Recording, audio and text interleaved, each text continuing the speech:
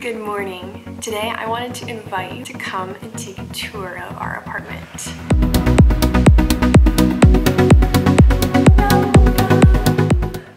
So here is our space. I am so excited you're here. This is a converted warehouse. I'm pretty sure it's been converted for at least 20 years. Um, I'm not exactly sure how old the building is itself. So when you walk in the door, we have a space to sit and our shoe area. I've always lived in a no shoes household because walking around the house with shoes on from outside always sounded kind of gross.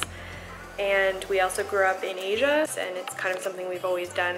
I keep the yoga stuff over here. That's where I do my contortion and flexibility training. And to the left is our big, massive double garage door. So these things actually do open up. Anson built us this beautiful wood floor and stained it.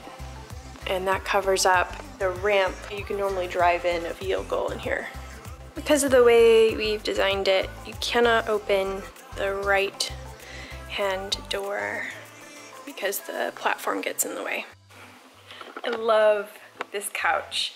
We bought this couch in Japan and we've had it ever since. So on our shelf, I have a little bit of art and all of my art books, as well as a few fiction books. I've not really been able to keep a lot of books in my life, even though I really love them because we do so much travel and books are one of the heaviest things to travel with and move around. Some wedding photos. This is where Gil lives now. I don't keep a lot of things that are like trinkets and whatnot. These are particularly special to me because I actually found these in Indonesia. They're in a riverbed. There's hundreds of them. All you had to do was break open any of these rocks and you could find something inside. Every artist needs a sword as a reference, right? Like we have good excuses for these things, I feel like. I should count how many weapons I have just laying around. Four, maybe? Anyways, over here I have our new, newly acquired dresser. I haven't decided what I want to put inside yet. Here's our dining room table that I use quite often for pretty much anything but actually dining. Another print by Donato.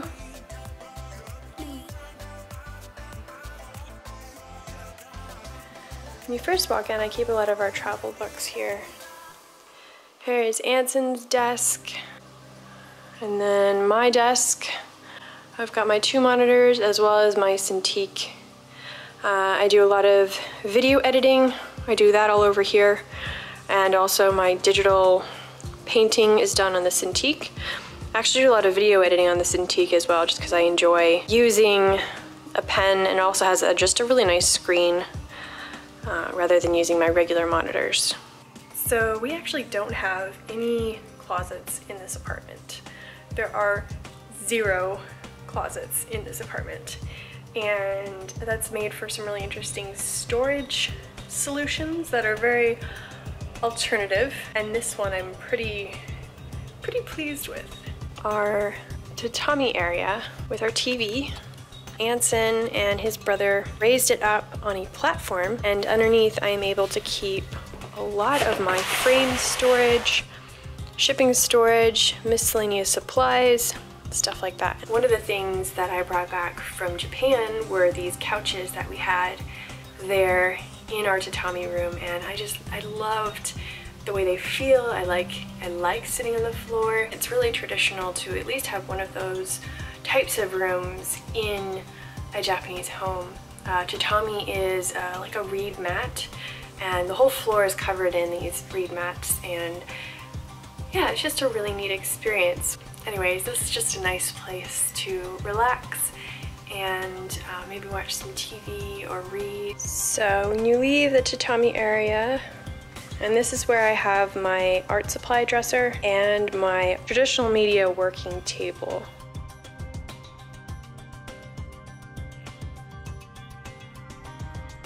Here I keep all of my sketchbooks I like to keep a lot of my supplies put away and only keep out the stuff that I'm using regularly, but I keep pretty lean supplies as well. So this kind of weird setup is what I use to film with. Right here I have I have a yoga block that I'm using this mount that's attached. Normally this would go on the side of the table, but my table is much larger than it used to be. So I can now move this around and it connects to my GoPro. The wire that's attached to it is actually plugged into the wall so that I can record for a very, very long time and never have to change the battery. So right now this is just balanced against my lamp. My desk lighting situation I am planning on changing in the next couple of weeks. But during the day I have this beautiful overhead light from the skylights that are above us. So there's three total in this main room and they are amazing at providing full light all day long.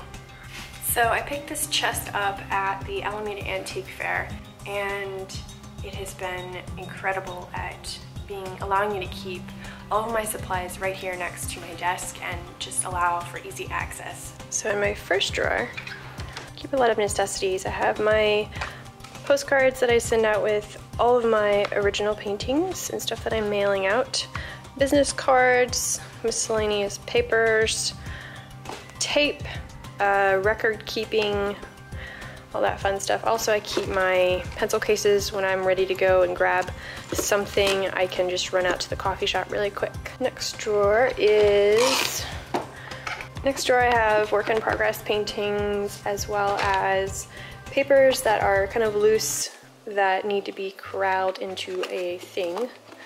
Um, I keep a lot of these in my cute Japanese folders. This is also where I keep a lot of my travel supplies for art. Um, just the containers that I travel with them in, brush holders, water brushes, my little mini watercolor tin, little travel sets. And then I also have um, just miscellaneous pens for signing stuff. And then I have excess pencils and pens in these two. So pens I'm not using right now and pencils that I'm not using right now. The Space Maker is perfect uh, for taking to life drawing classes. That's what I was using it for a while. Uh, next we have, this is where I keep all of my paper, Arches paper, different um, pads of paper in here, more paper, dot sheets, more blocks of watercolor paper, just kind of all, all the watercolor paper. This drawer I don't get into a whole lot. This one has sort of the art supplies that are not being used right now. Just miscellaneous containers. Uh, this is my fixatives and some ink, miscellaneous stuff like that. Um, I have a little spot over here that I've got some extra sketchbooks that I use fairly regularly. Uh, they just fit really nicely in this. Next is kind of the watercolor drawer, I suppose you could call it. Um, this is more items that I don't really use a whole lot. Like my Japanese watercolors are in here. Gouache is in here. Keep my Finetec paints in here. These are amazing. I just don't use them very often. And last but not least, the miscellaneous surface drawer, I guess. So above the computer area is our bedroom. And you get to it via the back here. So this is our bathroom that I try to keep shut, but I always forget to. It has a nice little window. Kitchen, another skylight. Bedroom, another skylight. We're in the minimal wardrobe route bedroom, another skylight. If you have any questions about today's tour, let me know in the comments below. I'd be happy to answer them. Thank you so much for watching. I look forward to seeing you in the next video. I did not address the pole in the room. I forgot. I